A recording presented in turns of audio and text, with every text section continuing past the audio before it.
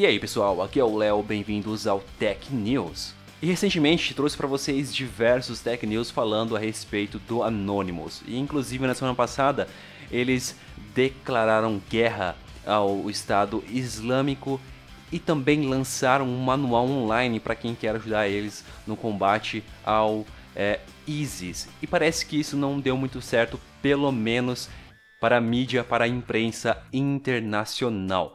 Segundo a imprensa internacional, o que aconteceu? Essa campanha do Anonymous, chamada é, OpIsis, uma hashtag, hashtag OpIsis, que ensinava como hackear os terroristas, encontrar esses terroristas, derrubar o Twitter desses caras ou outra rede social, enfim, acabou prejudicando pessoas que não têm nada a ver.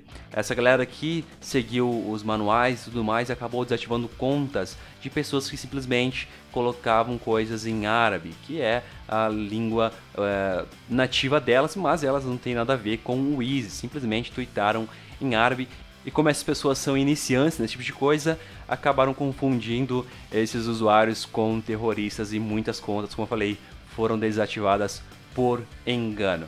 E para tentar resolver o problema, o Anonymous começou a divulgar nesta semana uma mensagem pedindo para que os membros tenham cuidado nas ações. E outra notícia ainda a respeito do Anonymous, parece que realmente a mídia não curtiu muito as ações é, do Anonymous contra o ISIS. O que aconteceu? a imprensa internacional começou a questionar o poder do grupo é, nessa questão aí de é, tentar acabar com o ISIS online e afirmaram que as ações do Anonymous poderiam atrapalhar as investigações da polícia é, dos Estados Unidos, da Europa. Segundo eles, o Anonymous poderia interferir em fontes de inteligência e acabar transmitindo informações confusa, é, confusas para as pessoas. Isso poderia atrapalhar toda a investigação. Então é isso, Anônimos de um lado tentando ajudar e do outro lado a imprensa metendo o pau, como sempre faz, mas é normal.